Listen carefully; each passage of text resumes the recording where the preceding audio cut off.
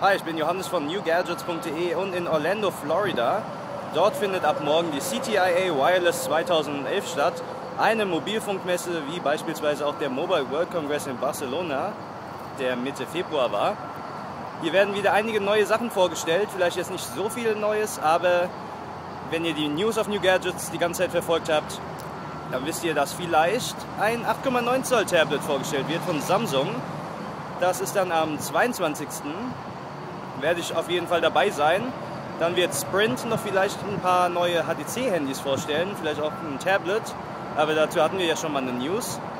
Ich bin mal gespannt, was es alles dort zu sehen gibt. Wir haben auch einige Termine mit Softwareherstellern. Mal sehen, was die so zu zeigen haben für den mobilen Bereich.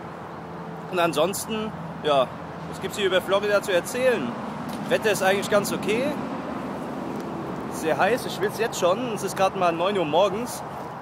Abonniert auf jeden Fall meinen YouTube-Channel und besucht meine Website newgadgets.de für die neuesten News aus diesen Tagen hier aus Orlando. Was alles vorgestellt wird, das erfahrt ihr alles auf meiner Seite. Bis dann, ciao.